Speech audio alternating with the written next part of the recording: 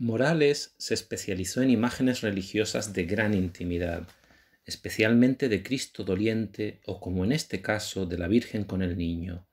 Obra arquetípica de su producción, esta es la más bella de las numerosas versiones de este tema realizadas por Morales o su taller, y es considerada el prototipo para todas las demás. El pintor reduce al mínimo los elementos de la composición, creando un icono devocional destinado a favorecer el recogimiento y suscitar ternura y compasión.